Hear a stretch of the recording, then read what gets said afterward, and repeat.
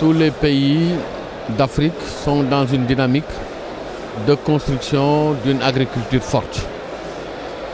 Par conséquent, il est important de participer à de telles euh, rencontres parce que ça te permet de voir quel est le chemin parcouru et comment certains ont pu agréger en tout cas des étapes pour progresser plus rapidement. Donc c'est un lieu, c'est un carrefour d'échange euh, permettant à tout pays de montrer ses forces, mais aussi de voir que faire pour atomiser ses faiblesses en s'appuyant sur les expériences des autres.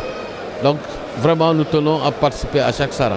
Nous allons présenter nos produits en ce qui concerne le riz, en ce qui concerne l'oignon, en ce qui concerne les produits de l'élevage. Euh, pratiquement tous les produits qui sont là, nous avons aussi à montrer beaucoup de choses et certainement à recevoir beaucoup de choses. Vraiment, en résumé, c'est un rendez-vous du donner et du recevoir, comme aimait si bien le dire le président poète Léopold Sédar Senghor.